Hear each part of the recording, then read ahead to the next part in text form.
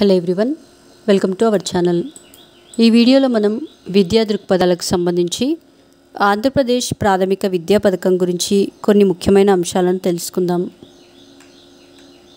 APEP stands for Andhra Pradesh primary education project APEP పథకంను పంతొమ్మిది వందల ఎనభై నాలుగు ఎనభై ఏడు సంవత్సరాల్లో మొదటి దశగా పంతొమ్మిది వందల ఎనభై తొమ్మిది నుండి తొంభై ఐదు సంవత్సరాల్లో రెండవ దశగా అమలు చేశారు. భారత ప్రభుత్వం ఆంధ్రప్రదేశ్ ప్రభుత్వాలు ఉమ్మడిగా బ్రిటన్లోని ఓవర్సీస్ డెవలప్మెంట్ అడ్మినిస్ట్రేషన్ వారి ఆర్థిక విద్యా విషయక సహకారంతో ప్రారంభమైంది. ఎపెప్ పథకం ద్వారా సార్వత్రిక ప్రాథమిక విద్యా అమలుకు మార్గం సుగమమైంది. ఏపెప్ విధులు ప్రాథమిక విద్యలో నాణ్యతను పెంచటం పాఠశాల భవన నిర్మాణాలు చేపట్టటం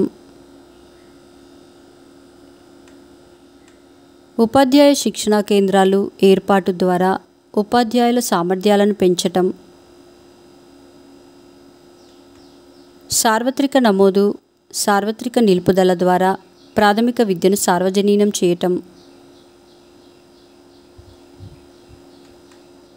ఉపాధ్యాయ కేంద్రీకృత బోధనా స్థానంలో విద్యార్థి కేంద్రీకృత బోధన ప్రారంభమైంది. ప్రాథమిక తరగతులలో గుణాత్మక బోధనకు ఆరు సూత్రాలను ప్రతిపాదించింది. ఇవి కృత్యాధార బోధనను సులభతరం చేశాయి. అవి అభ్యసన కృత్యాలు కల్పించటం అనుభవాల ద్వారా అభ్యసనం చేయటం. వ్యక్తిగత జట్టు మొత్తం పనిని అభివృద్ధిపరచటం.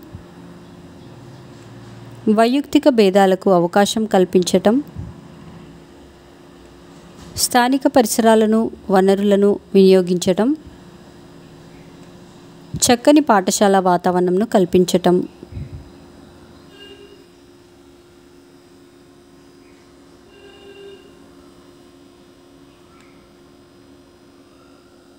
మా నెక్స్ట్ వీడియోస్ యొక్క నోటిఫికేషన్ మీకు రావాలంటే మా ఛానల్ను సబ్స్క్రైబ్ చేసి బెల్ బటన్ నొక్కగలరు.